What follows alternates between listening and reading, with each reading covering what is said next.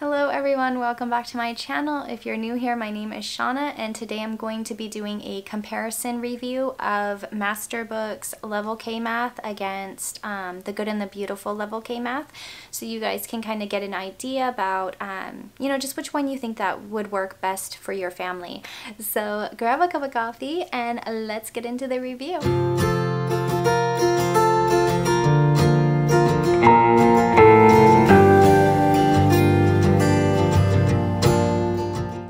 Guys, so before I jump into the review, um, I just wanted to let you know that it is going to be kind of long because I'm going to go over kind of like the overview of both of them. So like the price, the learning objectives, the scope and sequence, and um, and just a little like basically just information on both books and then I'm going to do a complete flip through. So make sure that if there's something that you're really interested in seeing or something that you don't really care to see you check the um, description bar. I'm going to do timestamps so you can just click around um, if you don't want to watch everything from front you know from beginning to end. So I'm going to turn around the camera and get this review started Alright you guys, so let's talk about price first because, you know, as homeschooling moms, we have to maintain our homeschool funds, right? So Master Books Math Level K is $35.99 on their site. And what is included in that is basically just the course book. And then at the end of the book, there is a number practice sheet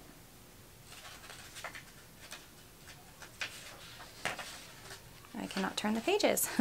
There's a shape practice sheet, a monthly calendar, and um, different calendar activities and exercises. Now, The Good and the Beautiful is $49.98, but they also offer free PDF versions of their curriculum from grades K through 5 on their website. Uh, you just have to print it and bind it. Now, what is included in this is the course book. And then they have reviews and assessments throughout the text.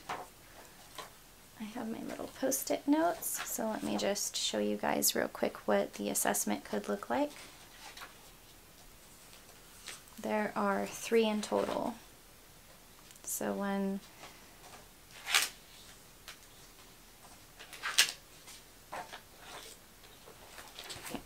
and it is recommended to purchase a uh, math box that has like learning manipulatives in it and that is sold separately for $20. Now, I did not purchase the box. I just decided that, because um, I have some math games and that come with their own manipulatives that I figured I could just use. So I don't think you'll necessarily have to buy that box. It's just one of those things that's probably nice to have because it'll line up perfectly with this. But if you're willing to get a little creative, you can save yourself $20.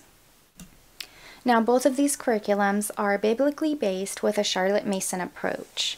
Master Books is recommended to complete over 36 weeks, doing the curriculum five days a week, and they say that it takes about 30 minutes a day. The Good and the Beautiful takes uh, 30 weeks. It is done four days a week, and their curriculum states that it takes 10 to 12 minutes to complete each lesson. Now we're going to get into the scope and sequence, so we're going to start with Master Books Math first. Okay, so as you can see, Master Books Scope and Sequence lays out everything that your child will be covering per week. So they don't dive into what they're going to be doing each and every single day, just, hey, on lesson 23, they're going to be working on the number 8, graphing and shapes. They also offer a supply list at the very beginning of the book so it will tell you each item that you will need in addition to the lesson for each week. Most of these things are things that you'll be able to find around the house, like, you know, rice or cereal to measure, post-it notes or index cards, uh, clear glass jars, blocks. but there might be some things that, you know, you don't have and that you'll just have to go and pick up, such as, um, you know, there's recipes included. So it says that you'll need some black beans, kidney beans, pinto beans, some ground beef, tomato sauce, things like that. Obviously, that one is optional, but just to keep in mind that this will be a nice thing to have. So you, when you're planning and you're making things like your grocery list, you'll want to take a look at the book. Uh, the next thing is they offer a daily schedule, but it's more of like a checklist. This might be great for people who live in strict states with homeschooling laws and they need to keep, you know, a really meticulous record of the day that their child completes something uh, and then what grade that they received. Now, this little checkbox, you can complete, you, you can mark it as, you know, completed work or mastered, whatever the concept was for that day. All right, so the beginning of each week starts with a story about Charlie and Charlotte, who are twins. And it just goes over the things that they're doing, the things that they're learning. And while you don't have, um, you know, actual scripture within the story, it does talk about their faith and their love for God. And then I'll give you, I'll flip through just the first week to give you guys an idea of what you can expect. There is parent narration, so it's not, you know, student-led, especially at this age.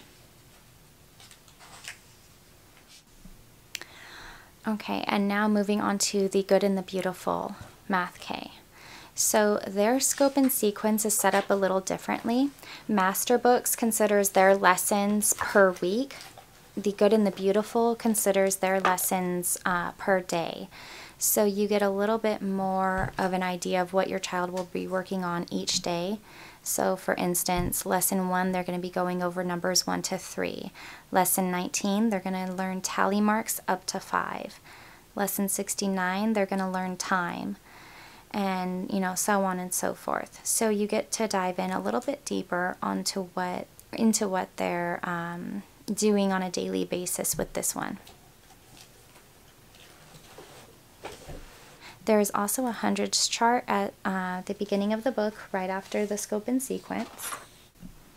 And then you get, you know, a little quip about about the course, some frequently asked questions.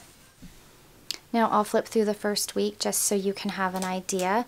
They do not have a supply list at the beginning of the book. However, they do have it at the top of each lesson before you start it.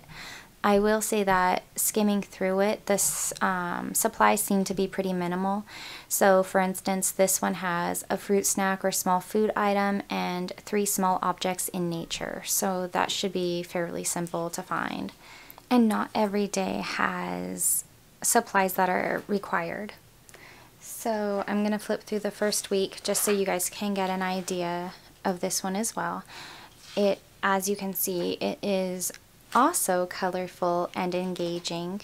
It does have um, parent narration prompts as well. And each day's lesson is roughly two pages. I mean, sometimes it's more, sometimes it's less, but that's the first week of the curriculum. All right, you guys, I I'm using my FitFab Fun box to prop the book up a little bit better so you can see fully. Uh, we're going to do the flip through of Master Books Math now. So getting into the meat and potatoes of what your children will learn with this book. The learning objectives are to learn to count from 0 to 10. They will learn number recognition from 0 to 10. They will explore weight and measurement. They will learn and review patterns, shapes, and time. They will cover tracing. They will learn how to use a calendar and the months of the year. They will learn directions and phrases for positions, so like above, below, in front, behind. They will learn different graphs, and they will learn weather. There are also some um, cooking, some recipes like I mentioned, so your child will learn some cooking skills, which can also be, um, you know, like comprehension. Can they follow directions? Can they uh, state what a list is from the recipe? There are a lot of different learning avenues that you can work into um, cooking with your child.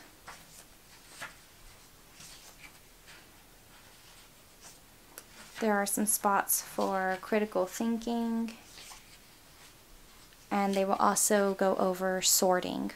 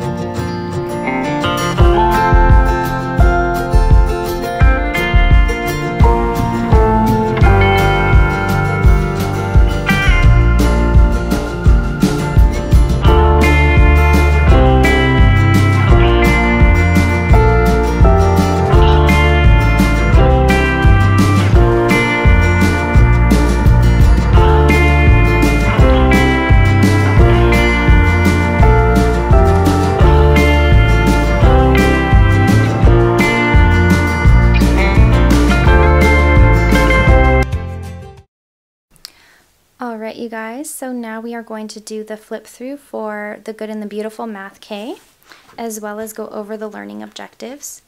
And at the end of this um, flip through, I will post like a picture side by side of like the learning objectives from Master Books and the learning objectives of the Good and the Beautiful. So that way you can kind of like screenshot it and just, you know, compare for yourself and see everything all in one place.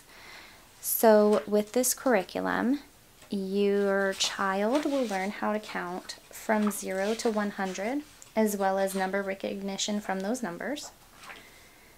They will learn how to um, use tally marks.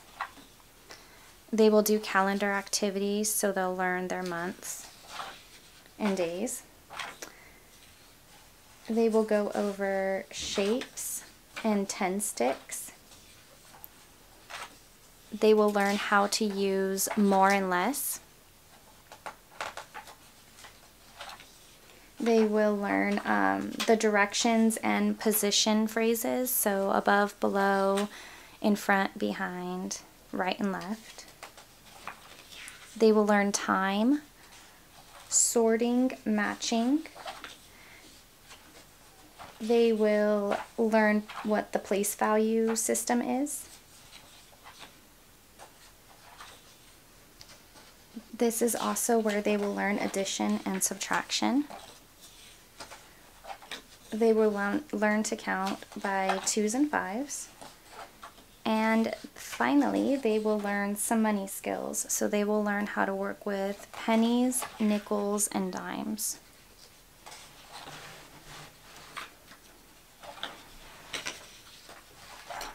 And then they get reviews worked within um, the text like I showed you guys more towards the beginning. Now, um, as far as religious content, I have not seen any specific scriptures. Um, I have seen a brief mention of Jesus.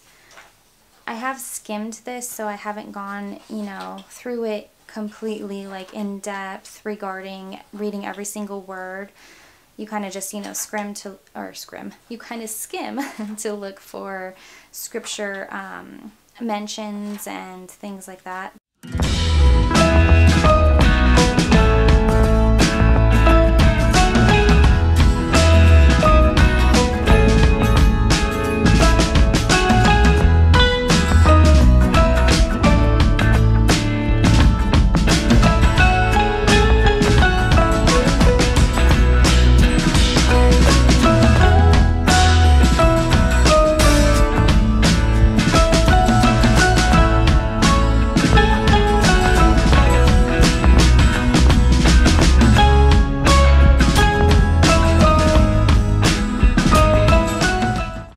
You guys, I hope that the little comparison chart I just posted side by side helps you guys. You can kind of like screenshot it and hopefully that can help you make your decision on which curriculum you're going to use. If you already know what you're going to use or this review helped you, please let me know down in the comments. I would love to hear, um, you know, what you found helpful.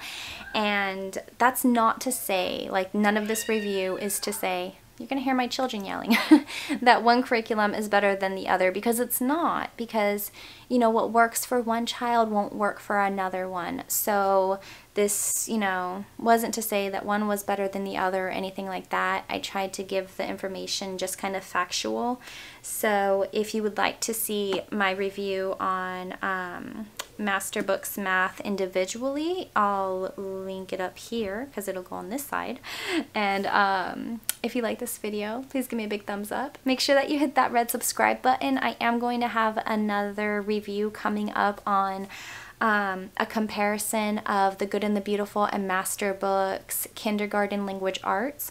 So if you are interested in seeing that, make sure you hit the little bell so you get notified when I post that video. I'm hoping to have that up uh, shortly after this video. So yeah, that is it for the review. I will see you guys later. Bye.